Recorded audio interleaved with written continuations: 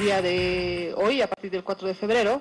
se está operativizando este manual de investigación, se está especializando al personal policial justamente para que puedan efectivizar las eh, investigaciones en delitos y tráfico de personas y delitos conexos. Y para esto eh, se está realizando a nivel nacional con otros departamentos que permitan esta operativización como tal y evidentemente eh, se, ah, se, tiene la coordinación con el programa de cooperación FIAP que ha tenido la facilidad de poder eh, traernos a un experto en investigación de delitos de trata de personas que es el teniente Félix Durán es así que estamos realizando, ya se ha iniciado esta labor el día lunes con el departamento de Pando,